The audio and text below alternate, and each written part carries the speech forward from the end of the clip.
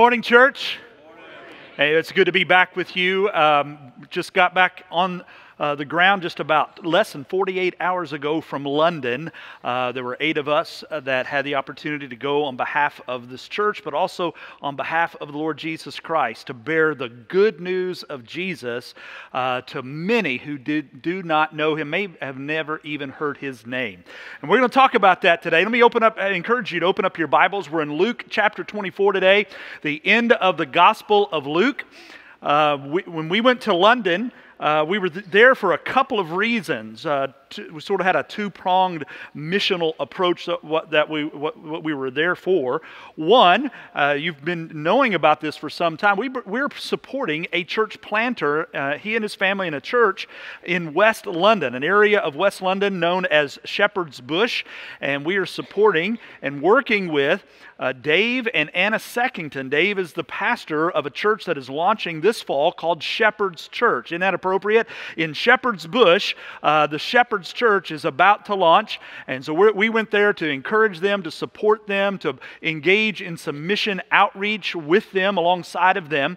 But also, we're partnering uh, with the International Mission Board. We have an International Mission Board missionary by the name of Scott Belmore, um, who, uh, interestingly enough, we met when he was serving in Alaska.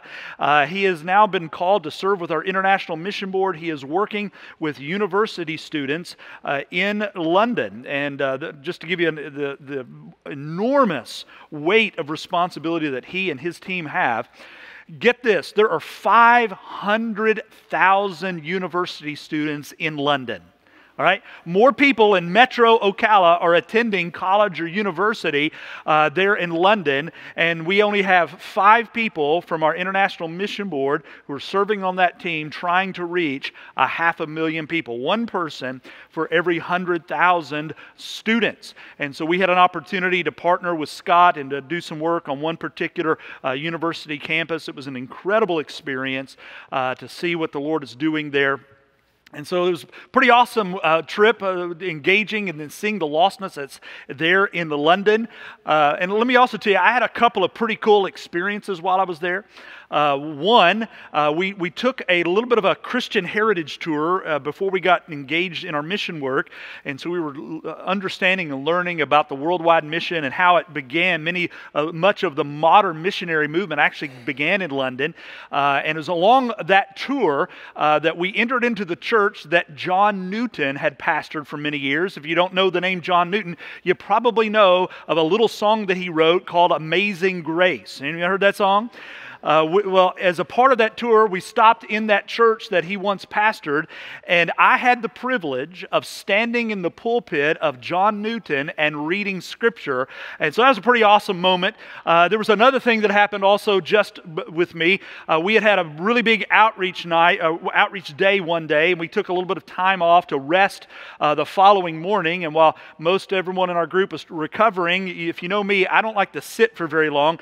And so I just got out and and, and did a little bit of touring. I went to uh, Charles Haddon Spurgeon's church. I just wanted to see that. And then on my way back to the flat where we were staying, uh, I stopped off at Buckingham Palace, just sort of passing by.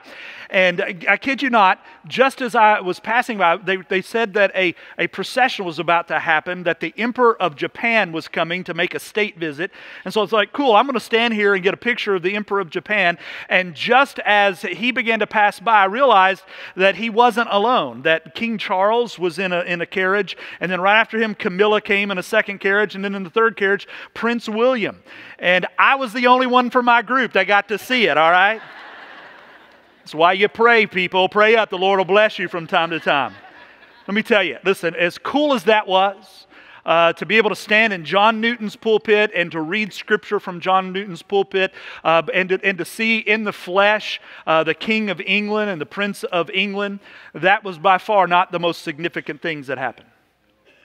Let me, let me tell you what really was significant about this trip. What was significant for me in that trip was, was watching a group of Christians gathering together. Uh, they're a fledgling church, the Shepherd's Church, uh, feeling the, the call of the Lord to be there in that community. By the way, Shepherd's Bush is 99.6% lost.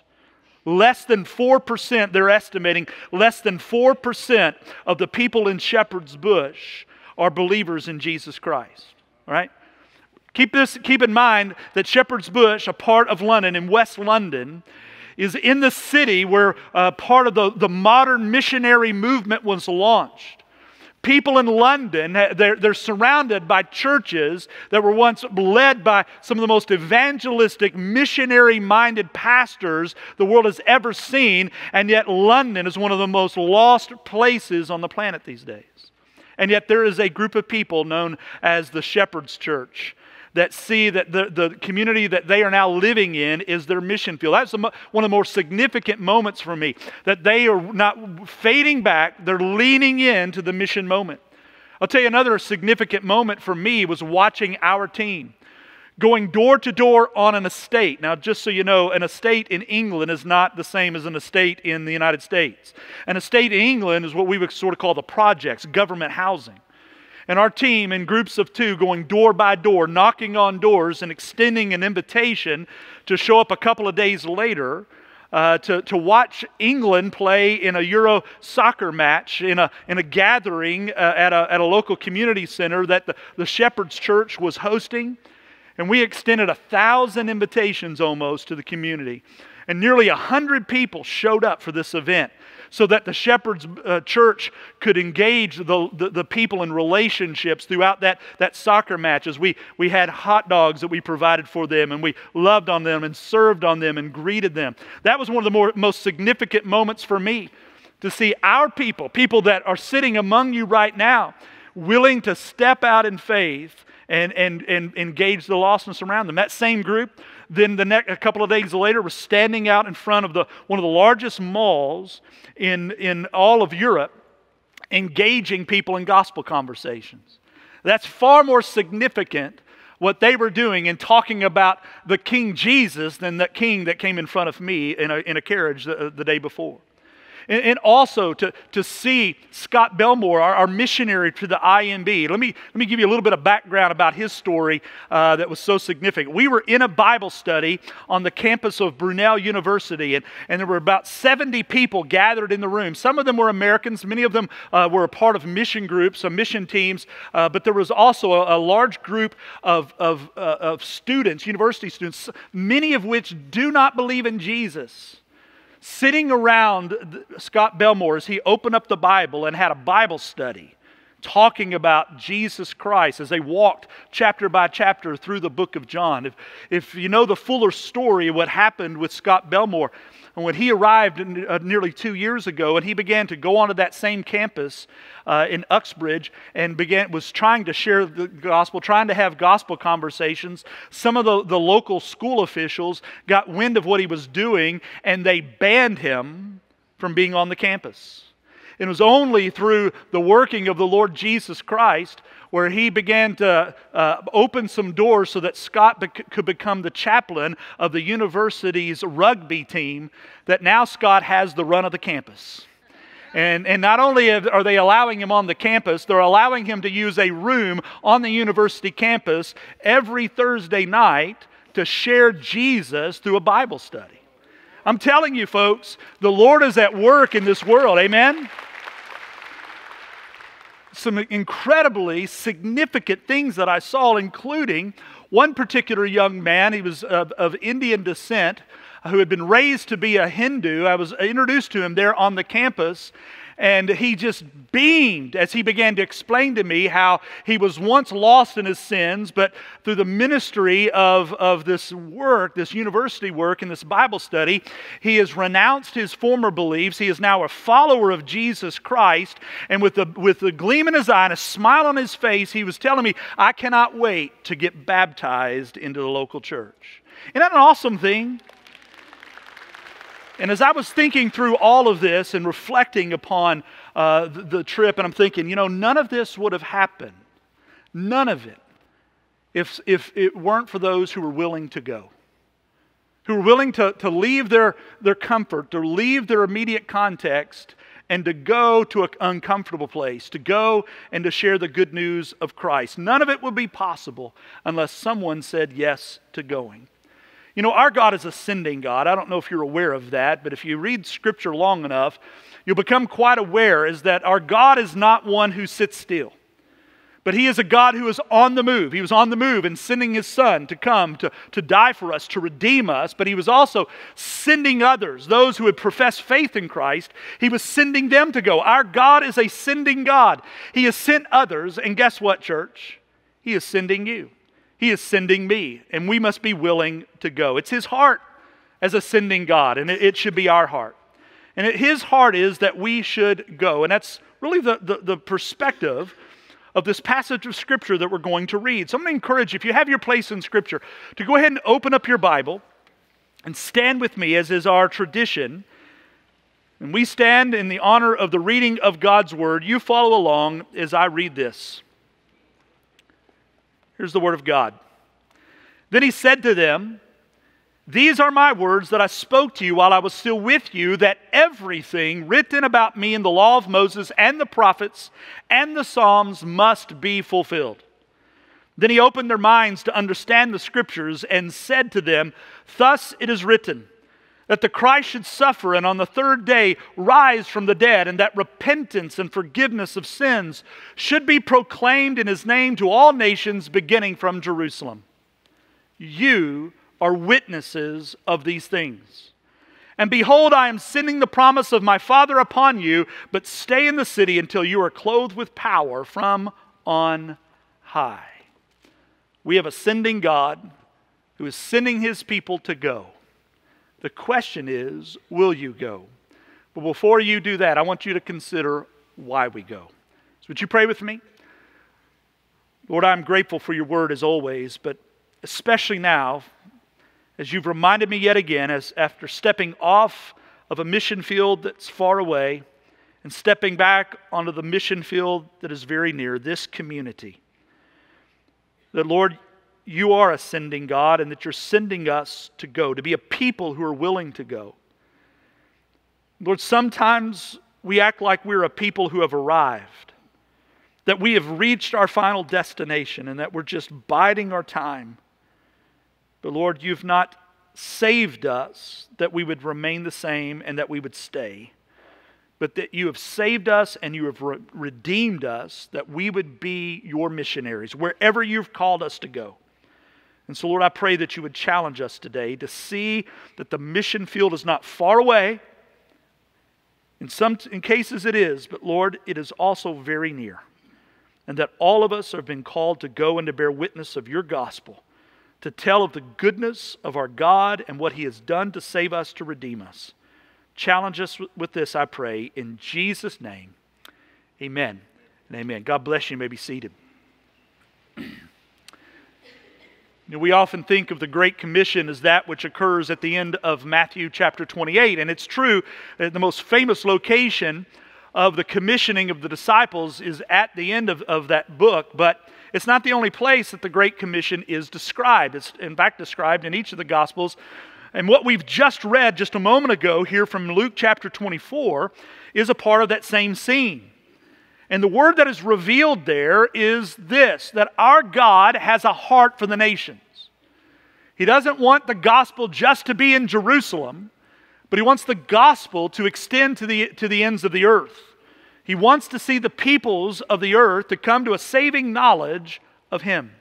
The apostle Paul affirmed this when he made this statement in 1 Timothy chapter 2 verse 4 that God our savior desires all people to be saved and to come to a knowledge of the truth.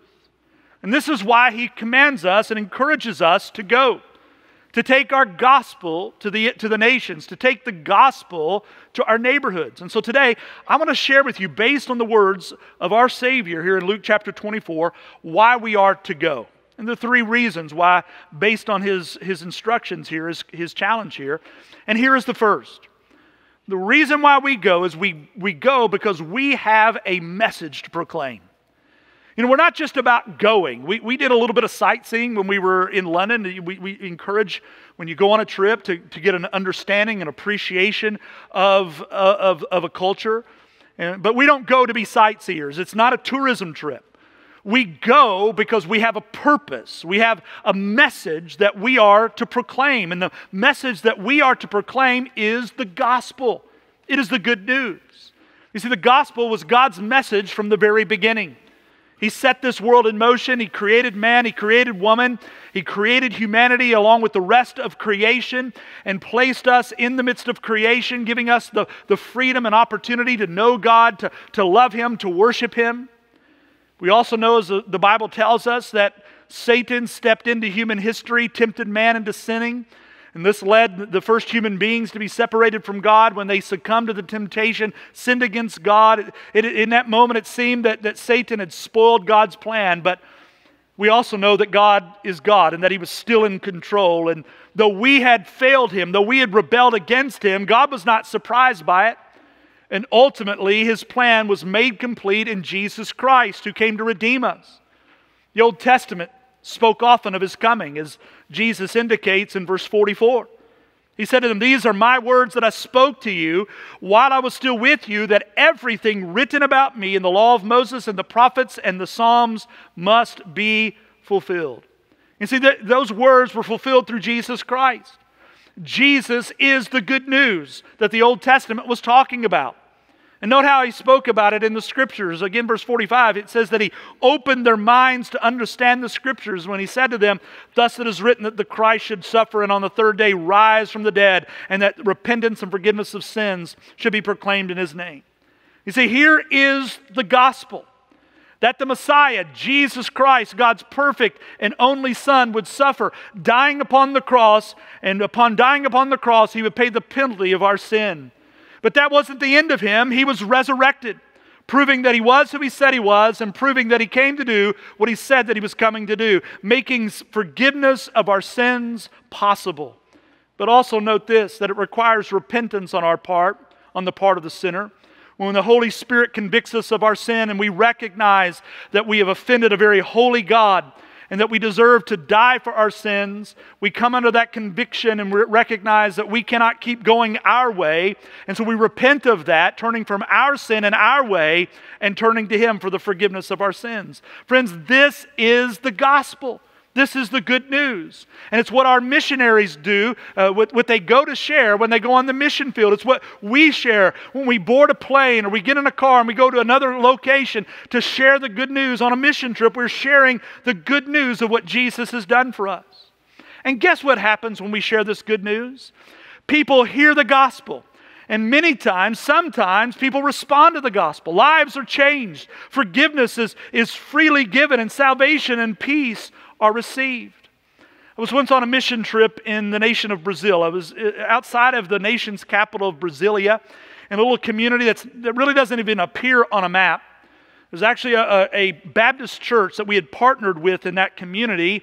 And we were going through the community, our, our mission team, door by door. You'd walk up to a house, sort of clap, and that would be the way you would let them know, know someone was at their door, and they would come out and, and begin to speak to you. Well, we, we clapped at one particular door, and I only found out after the fact that the church member that was going along with me had chosen the particular house on purpose. You see, on this particular trip, we'd seen a number of people come to faith in Christ, far more than this local church had ever seen before. They were very excited, and this one particular church member decided uh, it would be a good thing to try to test to see how far God's powerful spirit would work in this mission effort that we were engaged in. And she knew of one particular household where there was a girl inside whose name was Hosanna. And Hosanna was known throughout the community as being a practitioner of voodoo. And she thought it'd be a really good thing to take the, the Baptist preacher from America to go to the door and see what God could do at that place. I had no idea. And so we knocked, we sort of knocked the door, clapped at the door. An older woman answered the door. Through the interpreter, we explained to her why we were there. We had come from the United States. We were there to share the good news of Jesus Christ. And the woman in, in, in, allowed us into the, into the room. Um, she inter- introduced us to her daughter, and she disappeared. So we began to talk to this girl. Turns out this girl, her name was Hosanna, was the girl we were supposed to be there for. We began to talk with her about Jesus and about how Jesus, who he was, and why he had come into this world to die for her sins. And I said, You know, your name is Hosanna. Do you know what the, your name, what that means, what it's translated to mean? It's a Bible name. She had no idea. I said it means it's a cry for salvation. God save us is what Hosanna means. She had no idea of this. I said, This is your name, and you're not living up to your name. You're not living up to, to the idea that you are a, a, sinner desperate in need of salvation. I said, Hosanna, you need to cry out to Jesus and, and, and seek his forgiveness because because of your sins, you're going to die and be separated from him for all of eternity. And under the convicting work of the Holy Spirit, the Holy Spirit got a hold of Hosanna's heart. And she yielded her life to Christ. She, she sought God's forgiveness, became a Christian right there on the spot. What, and she told me, she said, You know, I cannot tell you, cannot describe, she said, all the peace that has entered into my, my, my, my, spirit, my person at this moment. I've never experienced this peace, but now that I've surrendered to Christ, I, I sense the peace of God. What we didn't know is that mother was in the next room listening the whole time.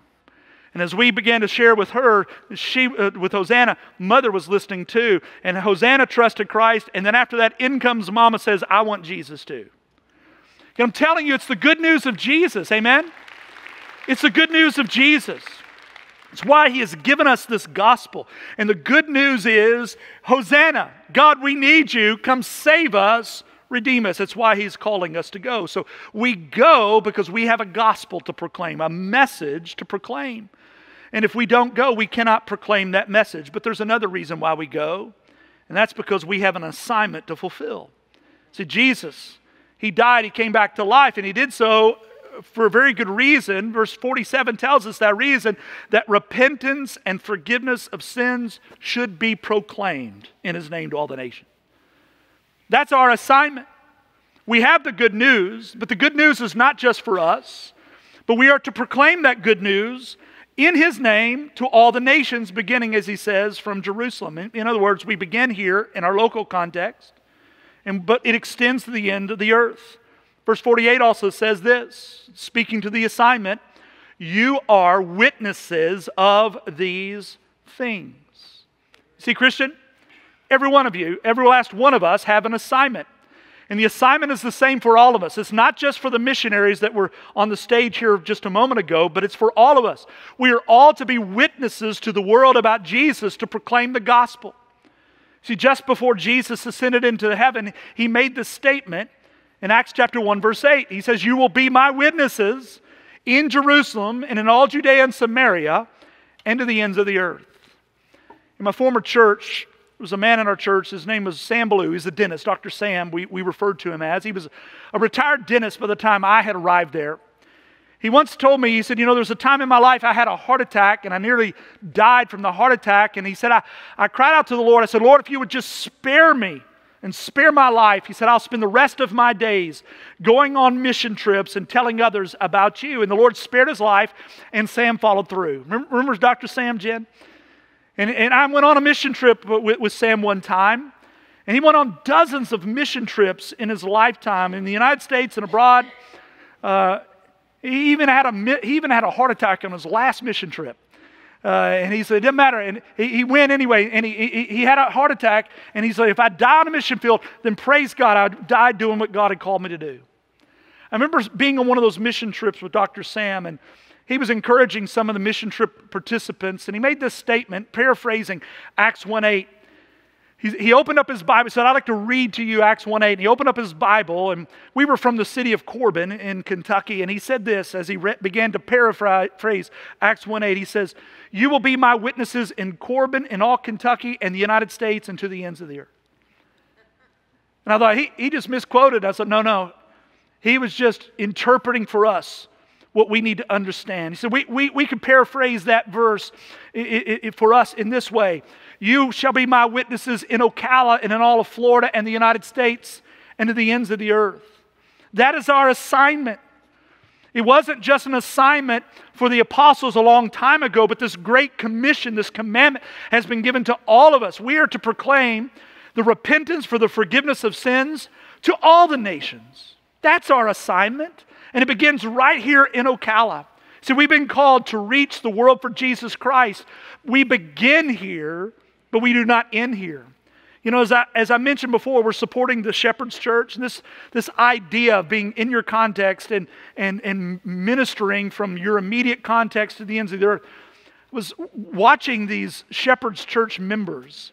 And it was just amazing me. You know, we, we got on a plane, flew over to London, and spent a week getting on the mission field to, to help this church reach their community for Christ. But it just, it just dawned on me that they are on the mission field right where they are, that they are missionaries right there. And I'm thinking, how in the world can we board a plane? fly all the way across the pond, go to the other part of the, another part of the world to share the gospel of Jesus Christ, to help somebody else reach their mission field, but we're not willing to do the same right here. See, this call to take the gospel to the ends of the earth, the goal isn't the ends of the earth. The goal is to, to, to embrace the assignment of sharing the goodness of Jesus, his, his gospel, wherever we are. But it begins right here. This is much our mission field right here. Now, someone may ask, you know, why do we go all the way to London to share the gospel when we have lost people right here in Ocala? I've, I've had people say that to me before in another context. You know, why do we spend all that money to go someplace else when we got lost people right here, Pastor? And, and that's, no one said that, that to me anytime recently, but I will tell you, most often when someone complains that we're spending money to go someplace else, when we got lost people right next to us, those people aren't sharing the gospel with the people right next to them. You see, it's not a either or, it's a both and. So let me answer the question. Why do we go to London or we go to Indonesia, we go to Peru, uh, or we go to Greece uh, to share Jesus when people in Ocala need him? Well, first, we go to those places because Jesus wants us to go. He's called us to go. He gave us that in His commission. He wants the people there to know Him. But also, the reason we go to places like England or, or, or Peru is so that we can reach Ocala for Christ. Now, if that doesn't make much sense to you, let me explain it to you. You see, I have an, an ulterior motive when it comes to mission trips. you see, I, I want our mission trip members, when they go, I want them to develop a passion for reaching the lost. And I've discovered that when people actually get on planes and they get on boats and they get on buses and they go to another context and begin to share the gospel, I just know that if they could go there and see the work of God at work there, they'll want the work of God to happen here too. In other words, one of the reasons why we go, it's not the only reason, but one of the reasons why we go is that we will find a passion there and we begin to live that passion out here. I see it happen all and uh, over and over again. I fear and I'm saying this with uh, directing this as much to me as I am to anybody else. I, I seriously think that we do not have a passion for the lost people in Ocala. I really don't. And I, am saying that as much to me as, as anyone. It's almost like we've become spiritually immune to what's going on out there. We become immune to the spiritual conditions of the people around us, ignoring the consequences of, of what happens to a person if they die without Christ. It's almost as if we don't care about them. But if we could just get a few of you to step out of your comfort zone, to go to another context, to maybe go to a completely different location and, and allow God to use you there to reach the people there, you might develop a heart for the people right here in this community. And so here's what I hope to see. I hope to, to see more of you wanting to get out on mission in the days ahead. I'm going to see maybe, maybe we see 10 more people in 2025 choose to go on a mission trip than we had in 2024. And then maybe that, that 10 will come back here with a passion for the lost. And then maybe 20 more will go on a mission the, the following year. And, and we'll begin to double the mission trips that we're having and, and increasing the locations in which we are going. All the while, our passion to reach Ocala and the world is going to grow and to grow and to grow. You know, we began this year with our, our Vision Sunday. And part of our emphasis on Vision Sunday was to talk about our worldwide mission effort. And we introduced a concept called from, the, from our neighborhoods to the nations. And this idea is, is that we want to be on mission not just somewhere else, but right here in our community. And very soon you're going to begin to hear of opportunities for you to engage in local mission opportunities in our neighborhoods. You see, Christian, you have a task placed upon you. It is the, the call to proclaim the repentance for the forgiveness of sins to all the nations, and it begins right here.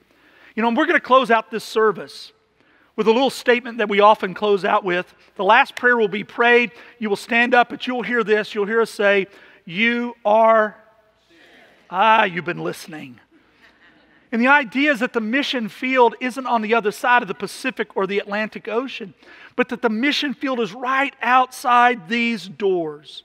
And an assignment has been given to you, and it is to go. Why?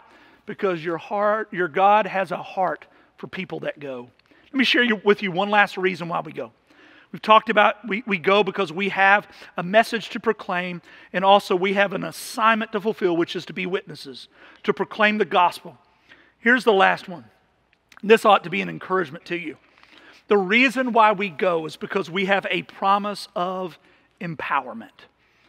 You see, I, my voice is getting weak. You can see it, right? Um, maybe it's just being, you know, in another climate coming back here. Even in my weakness, I know that the Spirit of God can do something, right? I've seen it over and over again, and, and we have a promise. We may feel weak when we, we go. We may not feel like we're completely prepared to share the gospel. We may have a challenge uh, of, of fearing to say the wrong thing, or we may have some financial struggles that prevent us from getting on the field or something else. We just, we just come up with all kinds of excuses saying, I can't, I can't, I can't. But the Lord has promised His church that He's going to give his empowerment to reach the world. Let, let me, let's be honest for a moment. Does the church today, the church in America, our church, does it, does, it, does it not feel like it's getting less and less powerful and more and more powerless and ineffective? Now, listen, I know the church and for many people, it's, it's fine. With most people, it's a perfectly good place to have a wedding, to come when you have some, some struggle, you know. It's a, but it's, it's a far cry from the empowered church that we read about in the book of Acts. So, what's wrong with the church today, especially in the Western context? What's wrong with this? Why don't we see thousands coming to faith in Christ like we've seen in previous generations? Why does it seem that God is moving among us like He used to move?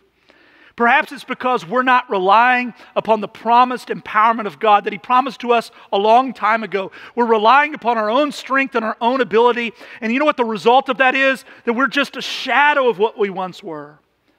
Because we're, not, we're no longer uh, familiar with the empowerment of God. We often choose not to share Jesus based upon our fears. And when we do, well, it's with less desirable, less than desirable success. See, the Lord, our God, is a God who is on mission. And He's calling us to go with Him. And He wants all who will hear the gospel that He desires to be saved. He wants them to be saved. And He's empowered us in, in order to, to, to see that happen. And if you think I'm just making this up, look at verse 49, the last verse. He says, And behold, I'm sending the promise of my Father upon you. But stay in the city until you are clothed with power from upon high. That power was mentioned in, in Acts 1 8. I, I read it earlier. That, that power that they were to wait upon when Jesus said, But you will receive power when the Holy Spirit has come upon you, and you'll be, be my witnesses in Jerusalem and Judea, Samaria, to the ends of the earth. If you know the story of the early church in Acts chapter 2, the Holy Spirit arrives in grand fashion. And those, that, that, that, that, few grouping of believers that had gathered together were empowered by the Holy Spirit. And by the end of the day, 3,000 people had come to know Jesus by the end of that day. L- let me tell you what I've learned on mission. Because every time I've stepped out on mission, I find myself feeling a little less than adequate and prepared to go. And listen, I know I've got theological degrees and I've got experience and uh, I've, led evangelism programs and mission programs, and I'm telling you, even I feel inadequate when I step out on the mission field. But let me just t- tell you what I've learned on being on mission that the God of the book of Acts is still alive and well. And that he is still on the move and he is still sending his people to go, and that the Spirit of God is still active and is at work. You've heard testimony of my time when I was in, in Warsaw uh, on a mission trip to, to Poland on 9 11. Remember that story I've told you before? and how two or three days after our country was attacked here, uh, those there was a, a, team of pastors, and we we were mourning for our country, and our, our mission uh, seemed to have been blown up, and and and one of us had suggested, let's you know we, we need to to grieve with our nation. We have an embassy here in Warsaw. Let's go down to the to the U.S. embassy just to be close to our country somehow. And as we arrived, we had noticed that the Polish people had begun to bring flowers and, and candles and laid them out in front of the, the fence of the U.S. Embassy. We were moved deeply by the show of solidarity by the people there. And I don't know who began it, but someone in our group, one of the pastors, began to sing God Bless America. Interestingly enough, all of the pastors there uh, that day uh, from the United States, from Kentucky, we all could carry a tune. We just began to sing God Bless uh, America. And we sang a few other songs, and some of that began to change to, to some patriotic, or away from patriotic songs to, to, to some hymns. But we began to notice that as we began to sing, the Polish people began to gather around us. They were just moved by our display of grief, but also our, our, our love for our nation. And, and as we finished the last song, one of us began to preach about Jesus, believe it or not, and, and that turned into hundreds of gospel conversations that lasted for hours. But I, I kid you not, uh, the Lord is my witness, over a hundred Polish people came to Christ standing outside of the, of the U.S. Embassy that day and the day after. And where did that come from? Is it because we, we could sing a good tune? It had nothing to do with us. It had everything to do with the power of the Spirit of God in that moment. And people were touched by the power. We, we couldn't speak the language, and we, we, we did the best that we could. And people, in, through their uh, small understanding of, of English, uh, came to hear the gospel and responded in faith. I was on another mission trip. We were in a small village in a third world country.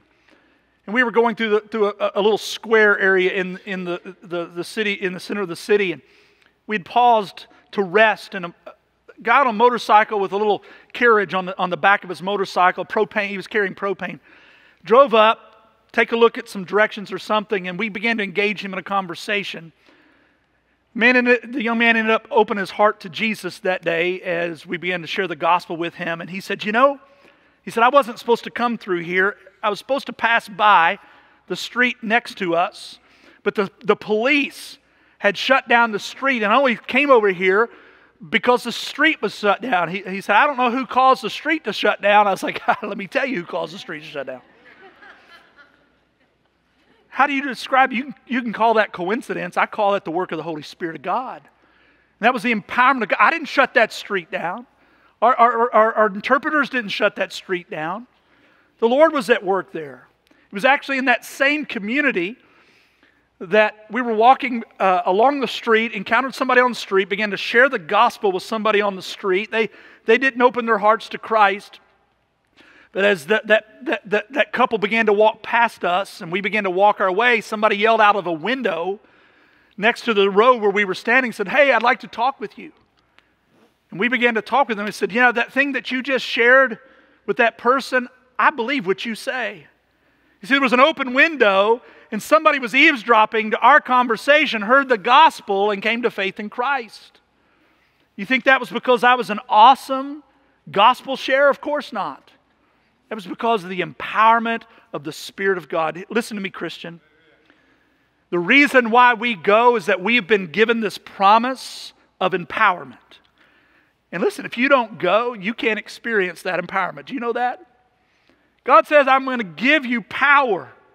He's going to empower us by the Spirit of God to, to proclaim the gospel, but you don't get to experience that empowerment unless you're willing to go. God gave us that empowerment, and the reason why is because He has a heart for the nations, and that's why we go. I, I wonder, do you have His heart? Do you have a heart to go? In this moment, I would challenge you to begin to study more, to look beyond this moment, begin to pray about the nations, to pray for those that are out there already embracing the call to, to, to share the gospel. Pray for people like Dave Seckington. Pray uh, for, for those who may need to go and have yet to respond. Give generously to missions, give so that others may go. But also want to challenge you to go to be willing to step out of your comfort zone. Maybe for the first time you're going to go on a mission trip ever. You've watched others go. Maybe you've even funded somebody to go. Maybe it's your time. And also challenge you to see that you have a mission field right here on, in Ocala to see what God can do for you and through you uh, as you begin to engage your lost neighbors and friends and coworkers and family members to, to gain a passion for the lost. And maybe the Lord is calling you to go. Maybe He's even calling you to uproot here and to go someplace else. I'm talking not just for a short term mission trip, but to sell everything and go. Maybe you're called to go like Aaron and Amy Estelle, whom you, you, you met this morning. Or maybe you to, to go like Bruce and Aaron LaPointe or maybe you're to go like Scott Belmore working with the university students in London. Or maybe you're called to go and, and to be a church planter. Imagine that someone among us may be called to leave this congregation and go someplace else to start a church uh, like Dave Seckington did in Shepherd's Bush. But I just wonder who's up next to go? Who's next? Maybe even now the Spirit of God is touching your heart. But also, you may be thinking, you know, I'd like to go, but I, I just don't think I can go. I have work obligations. I've got family obligations. I, I can't afford it. I, maybe I'm too old. And th- those may or may not be valid reasons. Uh, that's for you to work out before the Lord. But before you dismiss it, let me let, let, let, dismiss it out of hand. Let me, let me encourage you talk with one of your pastors about that. You may find that some of the obstacles that you find are big obstacles may not be obstacles at all. Let, let us help you sort that out and process those things. Some of those obstacles may not be obstacles, they may be opportunities. But listen, you do not have to go overseas to go. I'd hope that you could. Some of you should and some of you must, but, but many are going to stay. But that doesn't mean that you cannot go on mission. The mission is right outside, the field is right outside these doors at your school, at your job, in your neighborhood. You just need to change your perspective of what going is. That going on mission is bearing the gospel wherever the Lord leads you. It may lead you to London, it may lead you to Indonesia, it may lead you to Peru, or it may just lead you out your front door to the sidewalk. You take a right hand turn and go into the next sidewalk to the door of your neighbor. The mission field is out there. And remember, we go because the Lord Jesus Christ has that heart to go, and He has a heart for the nations. And you know who else the Lord has a heart for? The Lord has a heart for you. So I'm very well aware that not only did he send his son to die for the world, he sent his son to die for you, for your sin. And if you're here today and you've heard this and you've been thinking, man, I, I want that. I want the forgiveness of God. I want to, to know God and have a relationship with Him. Well, this, this call for us to extend God's gospel, the, the invitation call to the world, this invitation is now being extended to you. And remember what I told you about the good news. The good news is simply this that though we are sinners as human beings and do not deserve a relationship with God, we deserve to, to be punished eternally for our sin, God sent his Son to this earth. Jesus, who is God, perfect in everywhere, never committing one sin, laid down his life upon the cross. And when he died, he paid the penalty of our sin, but he didn't stay dead. The good news is he also came up out of the grave, proving that he was who he said he was. He is the Son of God, he is God in the flesh, but also proving that he did what he came to accomplish, so that he accomplished to do accomplished what he said he came to do, which is to pay the penalty of our sins. His death, burial, and resurrection is the good news because it is the means by which you can have a relationship with him, but you must repent.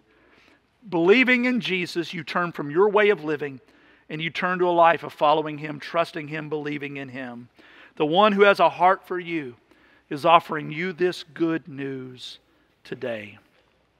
I'd like to close here this part of our worship service with a word of prayer. But I want to say to you if you're here today and you would, would like to trust Jesus as your Lord and Savior, let me tell you how that's going to, uh, an opportunity that you have for you and how you could possibly see that happen.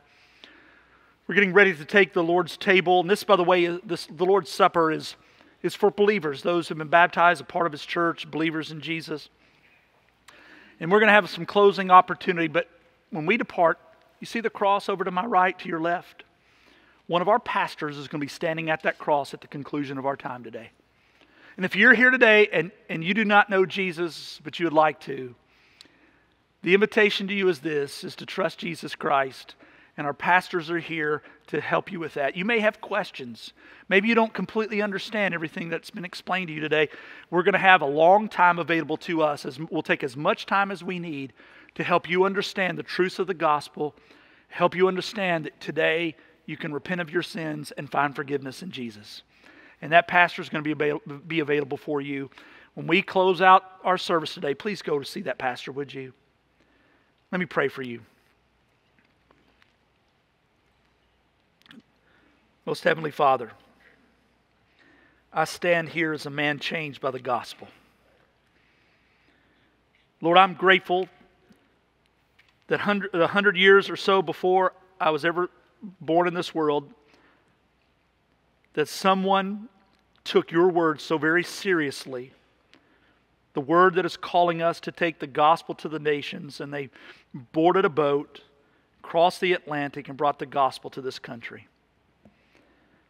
I will ne- this side of heaven will not know the names of those who gave so sacrificially of leaving family, friends, loved ones, resources, leaving it all behind and coming to a new country in order to see that the people in this country would have opportunity to hear the good news of Jesus.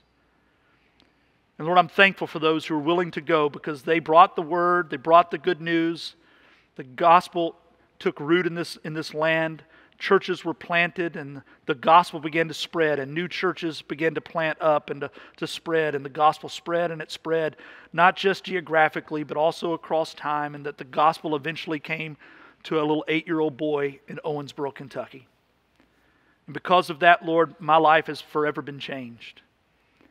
And so i'm grateful lord for those who are willing to go to make sure that the gospel reached me. But now lord the gospel having touched and impacted my life is now my responsibility, is my assignment to be a witness. That it's not supposed to end with me, but I'm to pass this on to others and to keep doing so until you either you come back or you call me home. And Lord, this assignment is not exclusive to me as a pastor, but it belongs to every person who has been touched by the gospel and changed by the grace of Christ. And so, Lord, I pray that we will see a, a reigniting of revival among us and a desire to see the gospel shared not just in places like Shepherd Bush, but right here in Ocala. Lord, may we be a church that's on fire for you and willing to go. But Lord, I, nothing would encourage us more today than to see someone who just happened to come off the street or maybe visiting with a friend who's here today that had no idea that they were lost and separated from you, but now that they've heard the gospel, that you would, you would love them and by your grace save them. And so, Lord, would you change a life today? Someone who is in the, in the dark spiritually could be brought into the light. And it's all because of what you did on the cross. And now that the good news of what you have done has been shared to them, I pray for the Holy Spirit of God to touch them and to draw them to yourself. Let it be, Lord, I pray. And give them encouragement to respond in faith. May it so be, and we pray it in Jesus' name. Amen.